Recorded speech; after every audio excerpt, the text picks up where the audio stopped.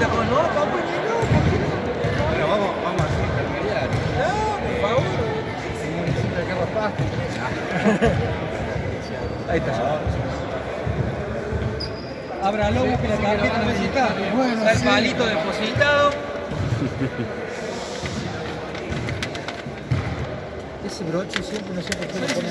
Este- Es para que sea más difícil. Nivel de seguridad. eh. de seguridad. Es un sobrecito, lo otro todo rendidito. Aquí está la tarjeta, no. Ahí está. Ahí está, la gente va por coro con el producto. Podemos un poco la tarjeta Visa, pero bueno. Pero bueno, está. Está mejorando el. Bueno, Es Visa. obviamente que en la comisión, todos los socios, todos los miembros del club, muy agradecidos por, por esta ayuda que es inmensa para nosotros, que nos va a ayudar a, a seguir creciendo,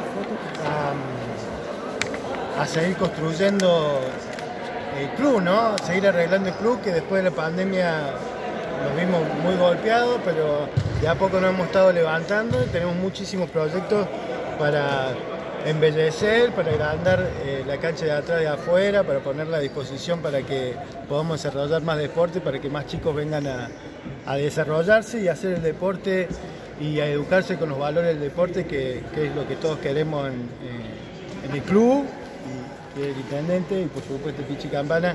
Así que muchísimas gracias con e- esto, la verdad que eh, es un mimo enorme para todos los que peleamos día a día el club, para todos los miembros de la comisión, eh, especialmente para, Liliana Pino, la tesorera, que fue la que, la que empezó con esta aventura de pedir el subsidio, así que bueno, muy agradecidos. Muchas gracias. Intendente, importantísimo el apoyo para clubes locales, venís de Bolívar, en este caso Pesca.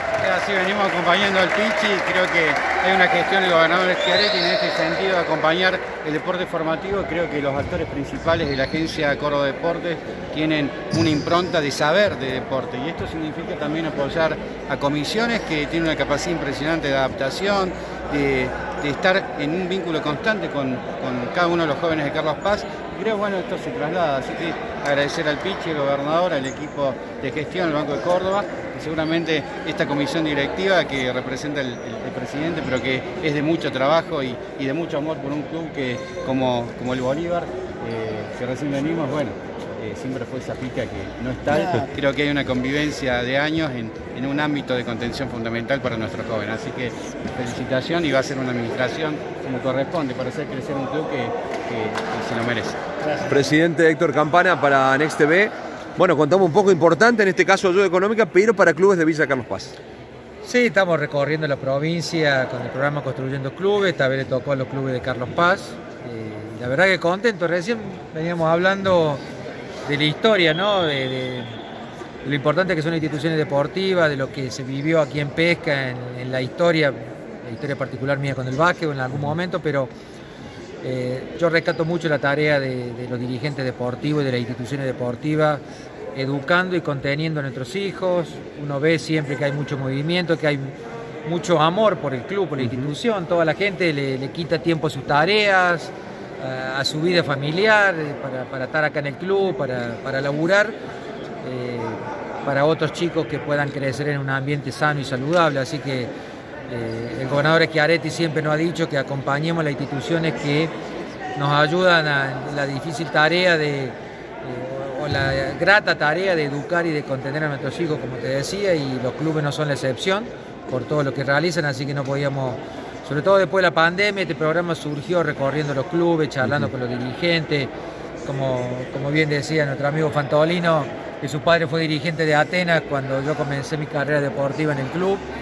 Eh, todos sabemos el esfuerzo que hacen y lo importante que son para, para los chicos acá, en este caso de Carlos Paz y de toda la provincia. Así que con los intendentes siempre tra- trabajamos juntos, así que esto es lo importante, ¿no? Pichi, sigue vigente el programa Construyendo Clubes. Se van a seguir eh, entregando aportes y qué, cuáles son los requisitos a tener en cuenta. Mira, el programa ya estamos llegando a la, etapa final de, de- de los 100 millones de pesos que destinó el gobernador. Yo me animo a decir que va a continuar porque hay muchos clubes más que se han anotado y siempre el gobernador cuando hay algún programa que es bien acogido por la sociedad, por la comunidad y que hay tantos clubes anotados, seguramente va a tener otra etapa, pero la verdad que estamos contentos. Los requisitos, tener el proyecto, estar con las instituciones al día, pero está bueno lo que preguntaste porque nosotros también lo ayudamos, hay muchos clubes que por ahí institucionalmente están con dificultades o deben balance o no tienen las autoridades eh, desde la agencia lo vamos a ayudar junto con la Dirección de Inspecciones Jurídicas que lo puedan hacer y que puedan acceder a esta ayuda. ¿Te gustaría verlo, estaba en lo personal, a verlo a Atenas nuevamente en el Estadio de Arena Carlos Paz? Sería bueno, sería bueno, vamos a ver. Depende, vamos a preguntar al intendente que puede saber, ojalá. Eh, yo quiero verlo a Atenas en, en, los primeros planos nuevamente. Este año le tocó a Instituto salir campeón y la verdad que nos hemos puesto contentos porque han hecho muchísimo esfuerzo para llegar a, a lograr el título de la liga y más allá de de que un tradicional rival de Atenas lo tenemos que festejar porque ha hecho muy bien las cosas. Gracias como siempre. Por favor, a ustedes.